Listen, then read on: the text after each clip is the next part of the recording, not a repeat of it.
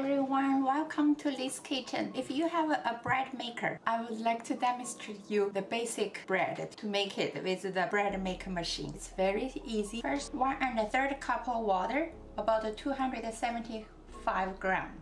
And I warmed up to around the body temperature. And with one teaspoon yeast, if you have the machine yeast, you don't need to warm up, but uh, this is a, a, instant yeast. I need to activate and give about five minutes to let it active. Now we can put uh, everything into the um, bread pan. It's a four cup of flour. It's about 960 grams. 1 teaspoon salt and 1 tablespoon sugar, about 12 grams.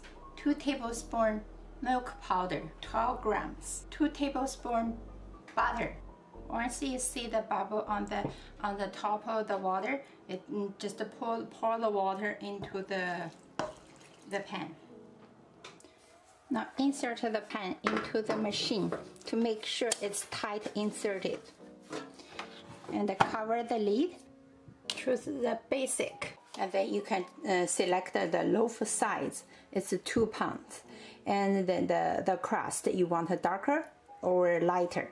And I choose darker. Now everything is all set and now press the start button and you can see the time is 3 hour and 50.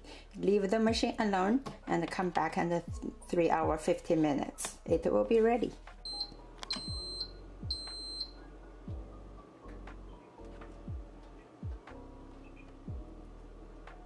After almost 4 hours, the bread is ready. Let it cool down for 15 minutes and it's ready to serve.